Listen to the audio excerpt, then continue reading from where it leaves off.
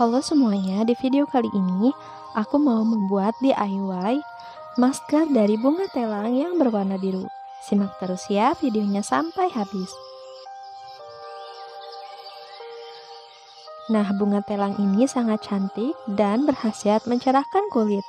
Berikut ini cara pembuatannya.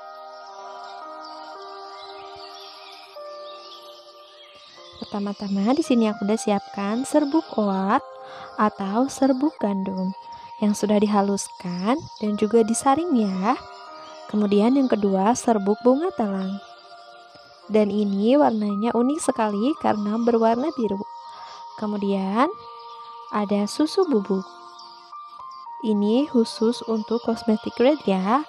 Dan yang terakhir air mawar atau kalian bisa menggantinya dengan air mineral.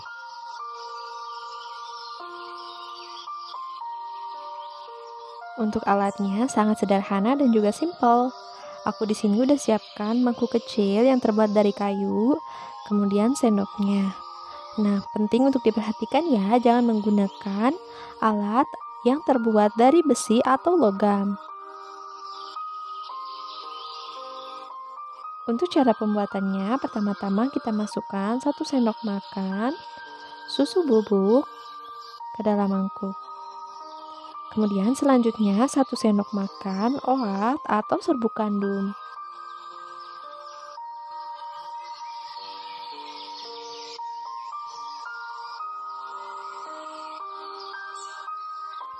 Kemudian tambahkan satu sendok makan serbuk bunga telangnya.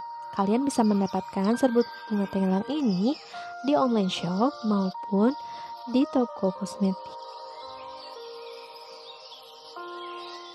Ternyata bunga telang ini selain dapat dikonsumsi juga dapat digunakan untuk kecantikan seperti membuat masker. Finally, tambahkan air mawar secukupnya. Kemudian aduk hingga semuanya tercampur rata.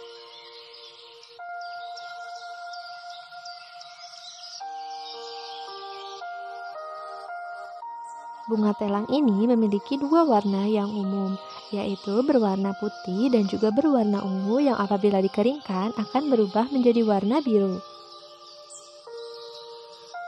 Oh ya, bunga telang ini sangat cocok untuk dibuat teh hangat. Ternyata bunga telang ini mengandung berbagai macam vitamin dan juga mineral seperti kalsium dan magnesium, serta asam oleat.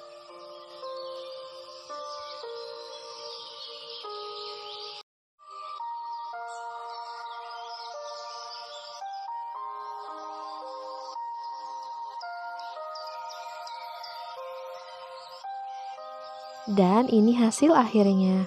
Untuk tekstur dan kekentalannya kalian bisa atur sendiri ya.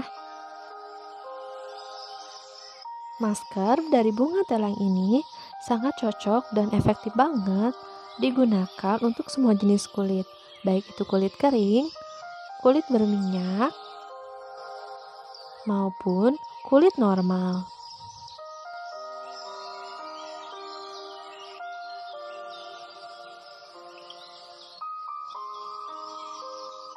Masker bunga telang ini memiliki tinggi kandungan antioksidan karena mengandung bahan antosianin, sehingga mampu menangkal radikal bebas, mencegah penuaan dini, dan juga bersifat anti radang.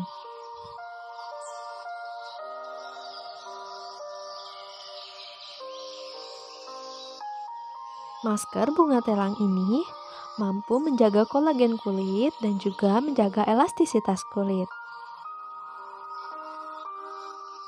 Jika kamu sedang mengalami jerawat parah, masker bunga telang ini sangat efektif karena bersifat anti radang.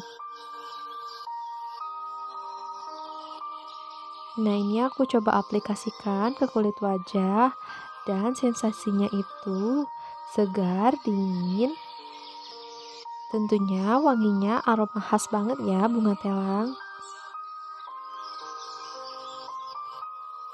Sebaiknya aplikasikan masker telang ini secara rutin ya untuk hasil yang lebih maksimal.